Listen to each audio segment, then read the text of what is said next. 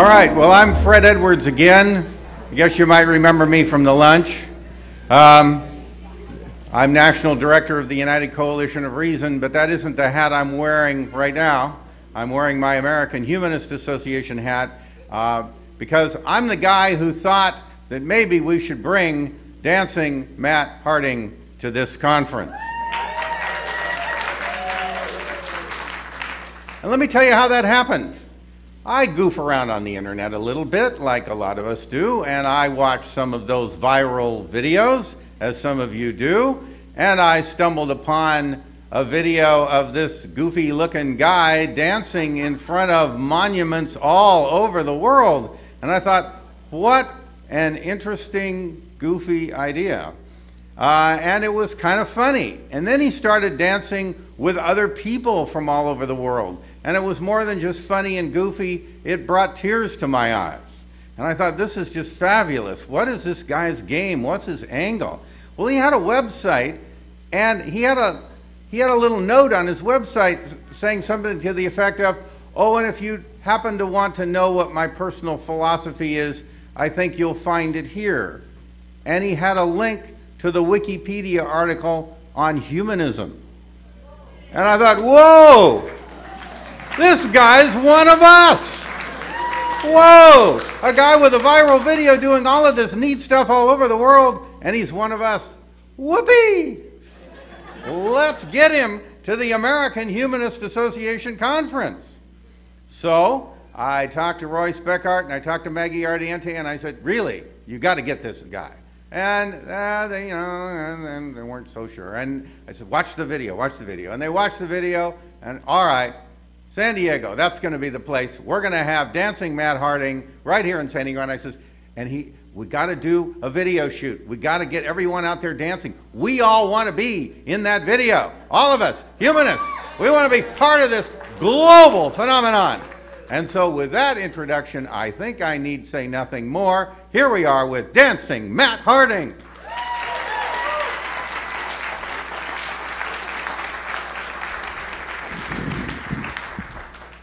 Uh, first, I want to say to anyone with a feeling of dread welling up inside them right now that dancing is optional. You don't have to dance. I don't make anyone dance. Um, but yeah, we'll do that at the end. Um, okay, so, uh oh, what's going on here? Hmm. It was working before.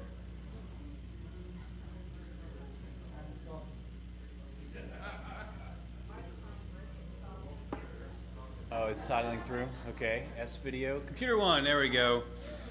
Hi, um, I am Matt, uh, and I have a logo. That's, that's my logo. this is uh, all the places I've danced in the last 10 or so years. Um, I've never gotten applause for that before. Thank you. Um, maybe, maybe you're looking at that and going, wow, that's a whole lot of places. Or if you're like me, you're looking at that map and saying, look at all those enormous gaps. Look at those huge holes where Matt has never gotten to and never danced. And uh, all I can say to that is that there are very good reasons why I haven't yet gotten to the handful of spots.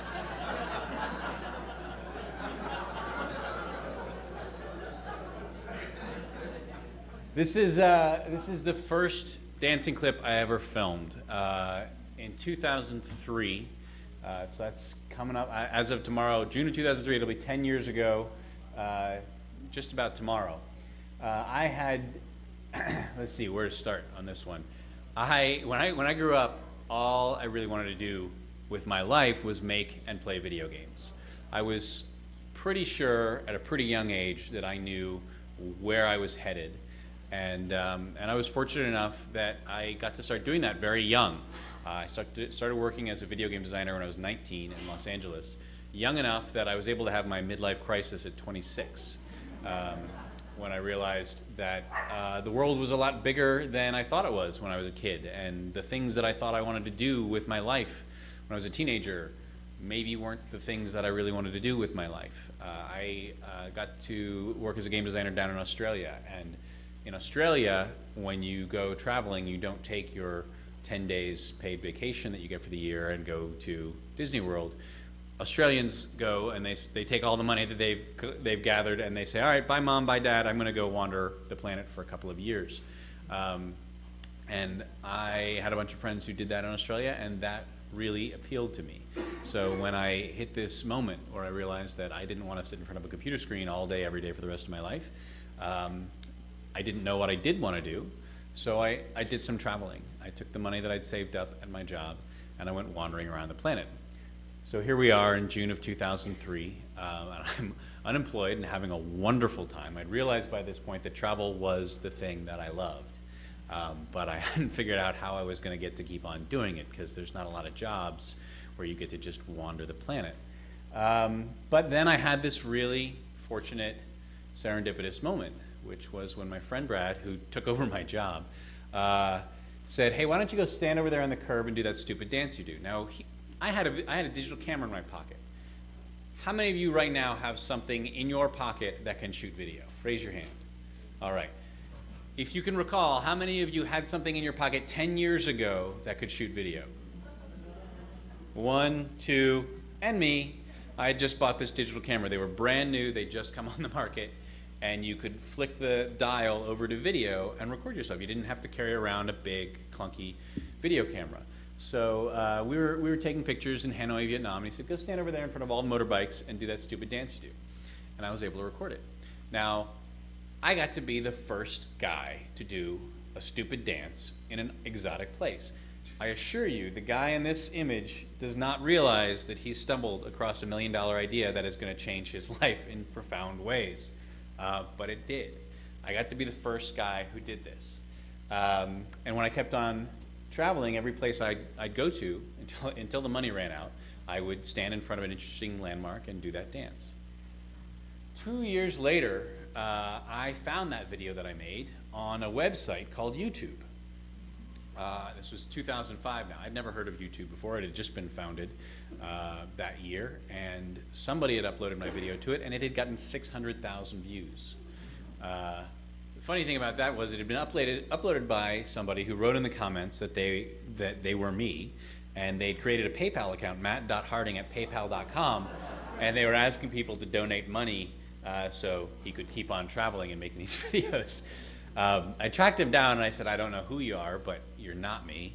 Uh, could you knock it off? And he wrote back to me and he said he'd collected $235 in donations and he'd be willing to cut me in on 5% of it. he was a, he was a, I think a 16 year old kid who was very entrepreneurial, much more than I am. Um, and, but I, I owe him huge gratitude because he got this thing out for me. And, uh, and I thought, when I, when I realized 600,000 people had just watched this video, I wanted to curl up in a ball and hide under my bed until it all went away. Uh, uh, we, question? Where? Oh, I had it on my website. I had it. I had a QuickTime MOV file buried on my website that he downloaded and posted. Uh, nobody was watching it there. Um, but uh, but yeah, he, I, I thought it was going to be really embarrassing. I thought people were going to make fun of me. Uh, but people saw this video and it expressed something that I, I, guess a lot of people felt. It expressed this feeling of joy that goes along with travel. It's, it's maybe how they feel when they travel, it's maybe how they want to feel when they travel. But people found uh, profound meaning in a video that honestly was just me going like this. Oh gosh. Um, so I didn't know what was going on, but I, I knew a good thing when I saw it, and um, I started getting floods of email. You've all heard this story about things taking off on the internet. Um, I got all these people reaching out to me, and one of the people who reached out to me worked for a company called Stride Gum, and they said, We're launching this new gum in 2006. Would you make another one of your videos for us? And I said, Well, will you pay for it? And they said, Yes. And I said, Then sure. Um, 2006, I took off on a six month round the world trip. I went to all seven continents, 39 countries, um, to make uh, my second Where the Hell is Matt dancing video. Uh, at the time, the idea was holy crap, these people are going to pay me to travel. I'm going to have the time of my life. And I did. Um, but the idea was just to go to postcard landmarks, what you expect to see in Egypt, what you expect to see in India, the Taj Mahal, Great Wall of China, and I was going to do my dance in front of them, which isn't saying much more than a dog says when you take him for a walk and he goes and pees on a bush or a fire hydrant or a mailbox. He's saying, I was here. Um, and I hadn't put too much more thought into it than that. It was I was going to get to travel, so that's what I was going to do. I was going to tell people I went here, I went here, and I did my dance. But a really, really fortunate thing happened to me again uh, on this trip. I went to Rwanda. Um, I wanted to include Africa in the video. I didn't have many specific uh, clips in mind there, but I did know someone who was working for an NGO in Rwanda. And I went and met up with him. Now, Rwanda, there aren't a lot of places, there aren't a lot of postcard locations in Rwanda that you would want to dance in front of. Um, what there is a lot of is people. Uh, Rwanda is one of the most densely populated countries in Africa. So when I was there, instead of finding some uh, monument or something to dance in front of, I went to a village uh, called Mulindi and found a bunch of kids who were playing next to a puddle. And I went up to them. I didn't speak any Kinyarwanda. I didn't speak any French. They didn't speak any English. It didn't matter. I started dancing. They started dancing too. Um, this is it. And, uh, and that turned out to be, out of that whole round the world trip, um, the best experience I had, the best clip in the video, and uh, I, I, had a, a, very energy efficient epiphany in that moment, uh, which is that um, me dancing by myself is not actually that interesting. I wish it was, but it's not. Uh, me dancing with other people, different people in each place, uh, seeing them do the same thing or different things, whatever, is really, really interesting because dance transcends language and it breaks down barriers. And the silliness of just flailing your limbs around is a tool for seeing people for who they are. Um, this is something it took me a long time to figure out, but uh, I, I, discovered it there in Rwanda. And uh, another thing I realized is that I'm not a very good dancer.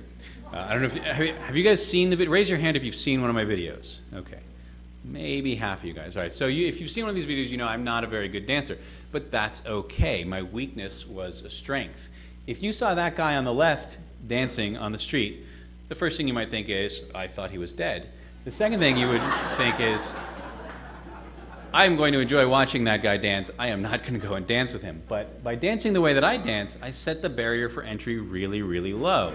You're thinking, I am not going to dance worse than that guy. So it, it was a very inclusive thing. Um, so after realizing these two things, I put the video up on YouTube that I'd made, and it did really well. 10 million people watched it. Um, and so Stride was very happy with how it turned out, and I was able to go back to them and say, thank you so much for sending me around the world. I had a great time, but I did it wrong. You need to send me around the world again. And this time I'm going to get people to come out and dance with me. And they said, okay, uh, so they gave me another two years to make the 2008 video, um, which I'm not going to make you sit through, uh, but here's a little collage of it. Um, if you've seen one of my videos, you've probably seen this one. It's currently at about 45 million views on YouTube. Um, and this was, it took me five years to get to the point where I made this video, and this was the, the one where I felt like I finally got it right. Um, it's, it's just me for a little bit of it, but, but there's thousands of other people joining in in all these different places, um, and it really changed my life. This was the third video. Each one was a little bit bigger, but this third one really, really changed my life, and I'll tell you a little bit about how it changed my life. One way is I became the king of all mats on Google. If you pull out your phone right now and you type in M-A-T-T, the first thing that's going to come up is my website, my dancing video. Um, eventually, if you go down far enough, you'll get to, there's Matt Mullenweg, uh, who created the WordPress blog, and he cleverly embedded his name in the meta tags for every WordPress blog. So he, for a while, was the number one Matt on Google, and he, I learned he actually had business cards that said the number one Matt on Google until I ruined that. Um, I met him at a conference once, and we're, we're not close. Uh, Next Matt down, I also met at a conference. At the time, he was number eight. He came up to me and said, You're Matt number one. I said, Yes. He said, I'm Matt number eight. But Matt is now number three. So in the battle of Mats on Google. Uh, this is the, this is the top rank. I don't know why I'm number one. Somebody up there at Google likes me, um, but. Another thing that changed is um, these folks at Visa came along and they said, We really enjoyed your video and uh, we've done some focus testing with it and we found that it makes people very, very happy. And we would like to make people very, very happy. So, would you do an ad campaign across Asia uh, doing your dance for us? And that was an interesting question and one that I really struggled with. Do I want to turn these, this project of mine, these videos I've been making, into TV commercials for credit cards. Um, and I kind of agonized over that, and I, I, talked to my partner Melissa about it, and she uh, gave me some very wise advice. She said, "Yes, you're going to do that."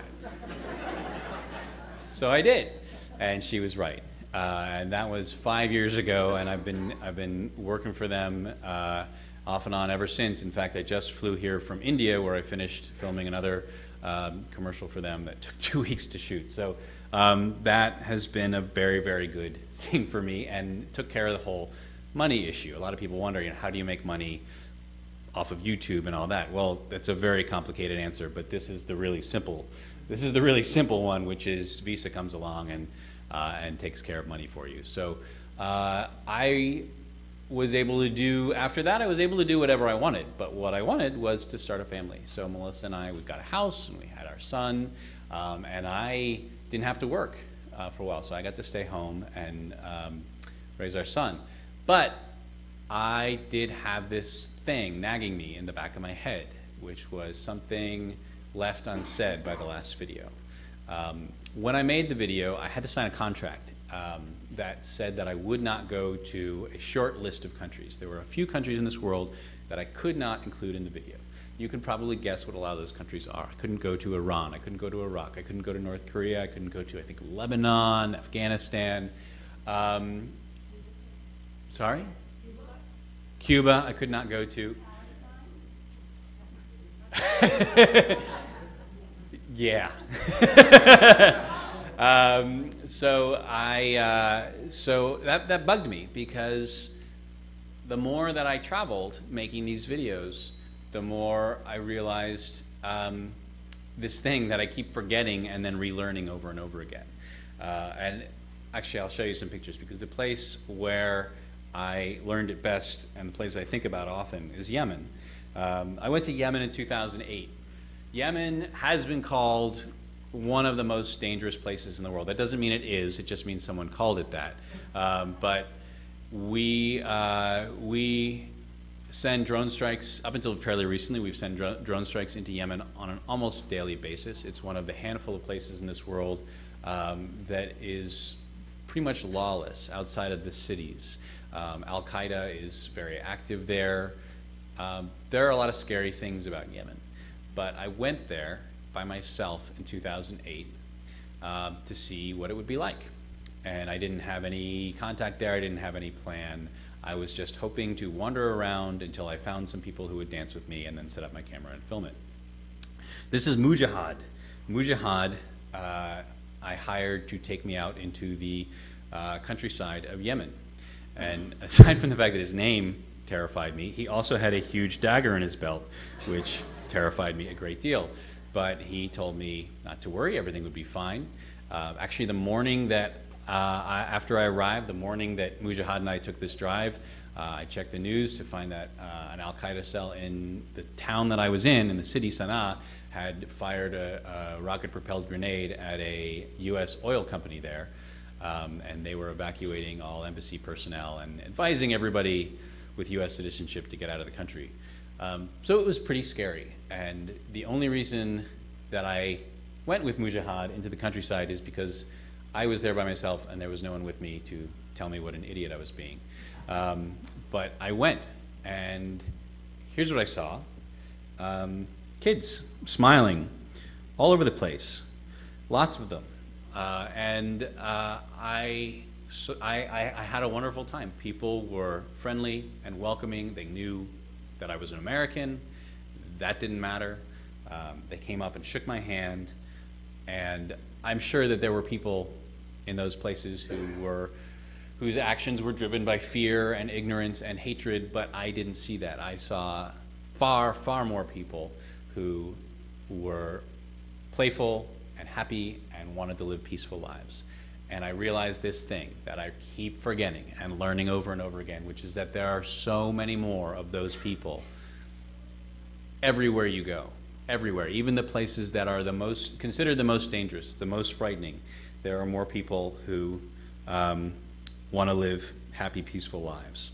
This picture uh, doesn't reinforce that point. I just put it in there because I love it. We were driving through the countryside, and um, this guy's truck, he had driven off a cliff. So here, this truck here is poised on the teetering on the edge of a cliff, and he has gotten out of his truck and is sitting in the shade waiting for his circumstances to change. I left it in because it seemed maybe at a humanist conference it might be somehow appropriate. I don't know how exactly. Um, but if you figure it out, please come up and explain it to me. Um, so I wanted to make another video uh, that expressed this thing that I learned that the world is safer and more open than it's ever been. The data tells us this. There's less crime, there's less murder, there's less war, there's more equality, there's more access to education, there's more civil liberties than there's ever been before. And if you're thinking about all the terrible things going on in the world that contradict this, good. Because you know what? Nobody used to care about those things anymore. Nobody was worrying about all the terrible things going on in the world like we are now. The world is getting better, but we turn on the TV and this is not what we see. We if you ask most people, is the world getting safer, they will tell you no. Um, but the data tells us it is. The data, unfortunately, doesn't matter to us that much because we're not robots, we're emotional beings.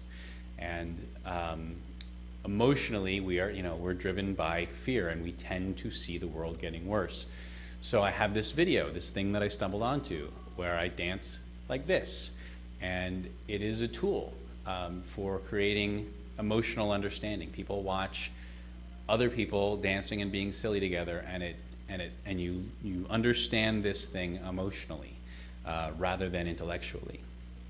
Um, and so I wanted to use this video uh, to help express that point. Now, here's the thing that I strongly believe: if you're making an internet video on YouTube, the last thing you want to do is have a point. Um, it is the death of a YouTube video to have a point and to have a message. And I do believe this, I, but I am getting up there in years as YouTube stars go. And as I said, I'd become a father. And if I was going to make another YouTube video, uh, it needed, if I was going to spend two years of my life staying in crappy hotels and sitting in airport terminals, um, it needed to have a point. And, uh, and that's what I wanted to say, that we don't need to be afraid of each other. We may have lots of good reasons to be afraid of each other, but we can make the choice not to have our actions driven by fear. And when we make that choice, we break a cycle that's been going on for a very long time. Um, I want to I want to tell you a story. I'm going to show you the video, uh, but I want to tell you a story first uh, about this shot. This is in Pyongyang, North Korea. I shot this in 2011 on dear leader Kim Jong il's, what turned out to be his final birthday. He died at the end of that year. Um, I went to North Korea for his birthday celebration because I knew, I knew they'd do a mass dance. Um, and I was going to try and get some people to dance with me during the mass dance. Now, you can, first thing, a lot of people ask me this. Yes, you can go to North Korea. Anyone in this room can go to North Korea. They're happy to have you. You can even go right now in the middle of the turmoil that's going on there they do accept tourists. They accept U.S. tourists. Um, and it's perfectly safe. But your interactions with North Koreans is very, very limited. When you go into North Korea, you stay at the hotel in North Korea, and it's on an island, and you're not allowed to leave it uh, when you're not on a tour, tour bus. And you have North Korean guides who are with you the whole time, uh, and they'll let you know when you can take a picture, and they'll let you know where you can go and where you can't go. Um, and they're job is to make sure you don't have too much interaction with the regular North Korean citizens. But I went there to shoot this video, and I explained it to the tour company. I'm going to shoot a Where the Hell is Matt video clip in North Korea. Is that okay? Yes, it's okay. I talked to the North Korean guides. I said, on the mass dance celebration, I would like to um, dance with some North Koreans. Is that okay? And they said, ha ha ha ha. Yes, yes, yes, yes, yes. Now, here's what I learned later. When a North Korean laughs at you, it's not because he thinks what you're saying is funny. It's because you're making him very uncomfortable. Um, that's what laughter means with a North Korean. So I was making this guy very, very uncomfortable, and he was saying the most, the easiest response that he could have, which was yes, yes, yes, sure, whatever. No way in hell are you going to dance with them. Um, so uh, this was the mass dance. Uh, we watched them all dancing out there in the park. We were able to stand by the side. Uh, we were not to, we had some limited participation that we could do, but I wasn't able to film a clip. Uh, and I kept saying to the guide, as soon as this is over, I'm going to be able to film a clip, right? Yes, yes, yes, yes, yes, yes, yes. Um, the dance ended. Uh, all the dancers started moving off to the side. Uh, they started moving toward their buses. They took our, my tour group and they started pushing us toward the bus, and I panicked. Oh my God. Uh, I, I'm going to shoot the clip, right? And they said, yes, yes, yes, yes, yes, get on the bus. And, uh, and I was really upset because I'd come here for this specific purpose, and here it was passing me by. And this was one of the most important clips that I wanted to put in the video, if not the most important clip, was to include North Korea and be dancing with North Koreans. And the moment was disappearing. So I looked over at the British tour guide who came with us, Simon, and I had this, you know, puppy dog look on my face as this opportunity was disappearing. And he looked back at me and he said, Go. Uh, so. So I didn't think, which is something I'm very good at. And I grabbed my tripod and camera and I ran across the park into this crowd. Uh, I plopped the camera down, I hit record, and I started dancing. I started doing the dance, their dance that I'd watched them perform. I learned it. And it was this sort of this kind of a thing and this kind of a thing. And as soon as I started doing it, there, believe me, there were security guards everywhere. There was a, a, significant armed presence standing right there. But as soon as I started doing this dance, they were in stitches. This whole crowd here was laughing their asses off. And it wasn't uncomfortable laughter, they were genuinely in stitches at this gigantic American white person who was doing their dance. Um, and I didn't know what else to do, so I just kept on, I just looped it. I just kept on doing that dance over and over again. Yeah? No, I didn't have music going. Uh, I was just standing there doing their dance to no music while they laughed. And I realized that I was in a stalemate. As long as I was doing the dance, the security wasn't going to come in and stop me because there was too much attention on it. Um, but I didn't have a clip because nobody was dancing with me. I was just dancing by myself. And I kept looking over at the crowd and say, Come on, dance with me, dance with me. And they'd say, No, we're not going to dance. Um, and then the, this amazing thing happened. This woman that you see right here on the right stepped out of the crowd and she bowed to me, and then we started dancing together.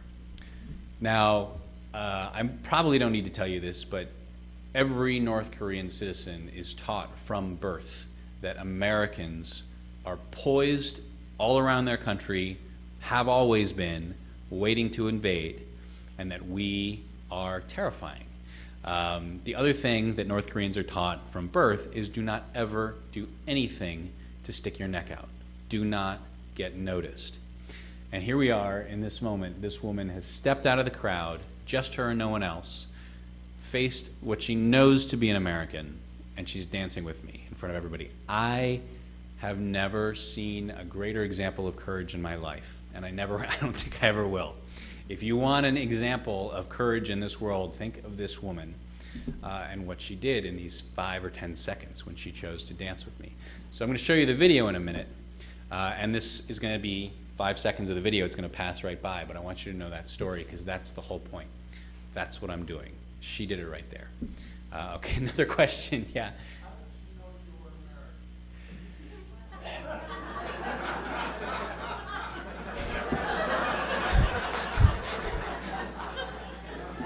she knew. there were no. Um, pretty sure she knew. Um, some there was there was a there were some Brits in our group, a couple Spaniards. Most of us were American. I don't I can't explain to you why, but um, I'm pretty sure she knew. And and if I was British instead of American or Australian, it wouldn't really matter that much anyway. to my initial point, yeah. Um, okay, so I'm going to show you the video and then we're going to dance. And after we dance, if you want to come up and just ask for a one on one dance with me, absolutely, yes. Can you record it? Yes, sure. Just come and grab me. I'll be here for a little while. Uh, but first, I'm going to put on the video, and I hope you guys enjoy it.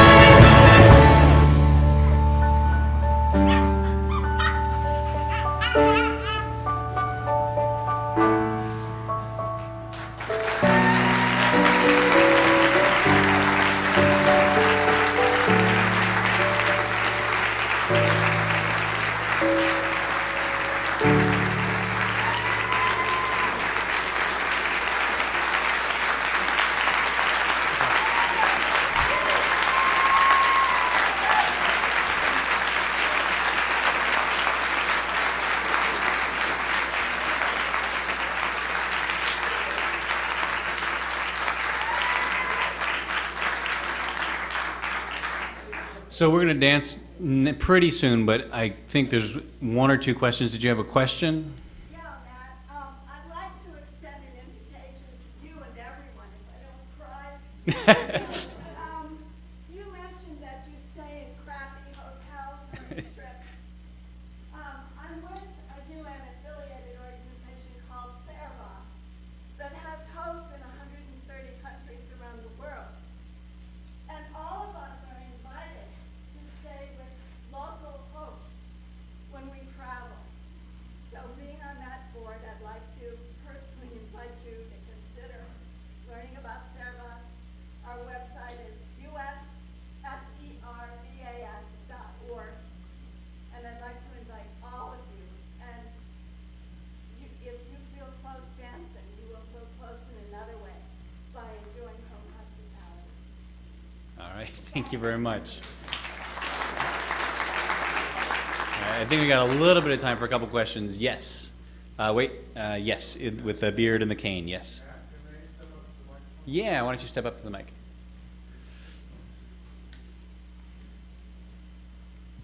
I like your stuff, Thanks. but uh, I have a criticism. Okay. And I, I- this is difficult because I'm sure I'm not going to win a lot of friends criticizing this. What you're doing is showing like the human spirit, and that's wonderful. That part's wonderful. But uh, my criticism is that y- that when you accepted the corporate sponsorship, uh, it, it gives me a lot of mixed feelings because uh, while they allow you to do this, what they're doing is, in a sense, usurping this uh, human spirit and, in a sense, trying to buy off their exploitation o- o- of the world and the market.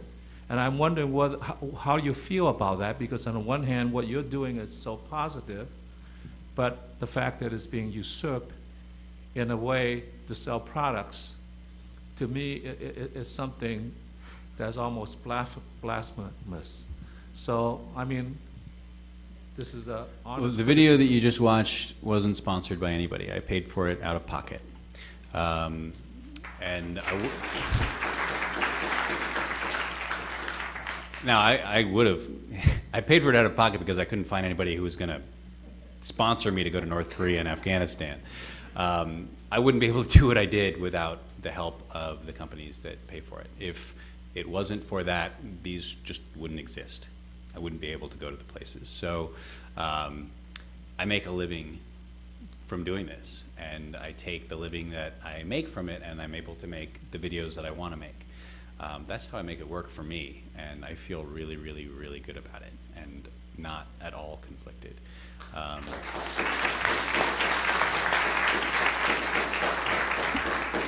but I mean, I, I, I welcome the critique. It, it, it is a valid one. That's how I make it work for me. Is I make that video. Uh, yes, in back there. Yeah.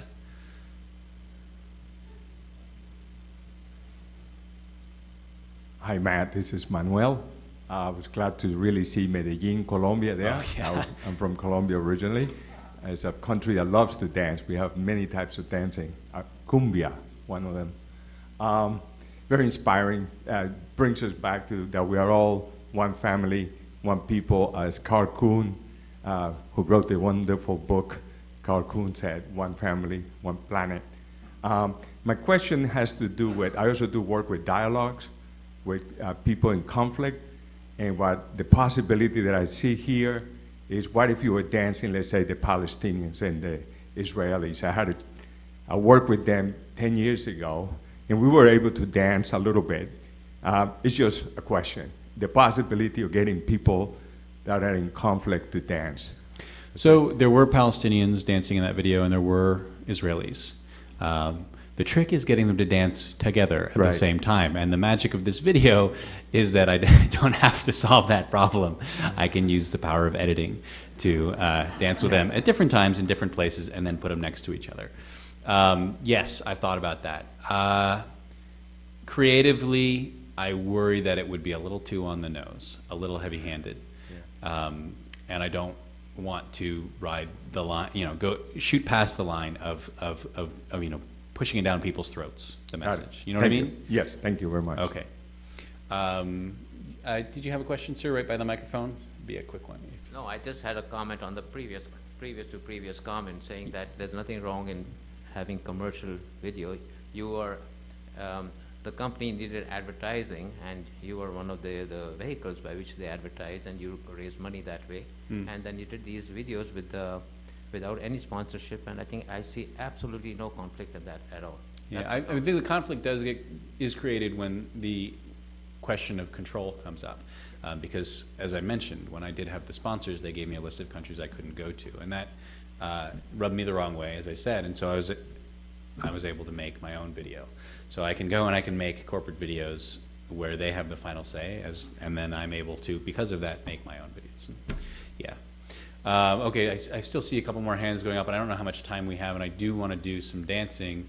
Uh, okay, you, you're up in the microphone, yeah? Has the State Department had any feedback or exchange with you? Have you Yeah, I've heard from some them? people in the State Department, and someone, I can't remember her title, who's a a big fan of the video and talked to me about, you know, going as an ambassador for the State Department, but that's not really, I, yeah, I don't know what, I don't know how that would work or what the point would be. I mean, I, I kind of, I, I try not to make these videos as an American. I try to make them as a global citizen. Um, so being of a particular country, I, I, I mean, I, I choose not to go that route. But, you know, I'm open to possibilities too. Um, so who knows? Um, I, we do, I do have to wrap it up um, because I want to do some dancing. Who, who wants to dance? All right. If you don't want to dance, as I said at the beginning, that's just fine. By the way, if you have a question, so you can come up to me afterwards. Uh, if you don't want to dance, here's how we we're going to do this. Um, that area over there is going to kind of be off camera because the cameras are over there. And this central area, particularly the aisles, are going to be on camera. So if you want to join me, I'm going to stand by that microphone in the aisle right there. Um, if you want to stand where you are here in front of your seat, that's great. And we're going to do the dance. It's going to take about 15 seconds, and then we're done.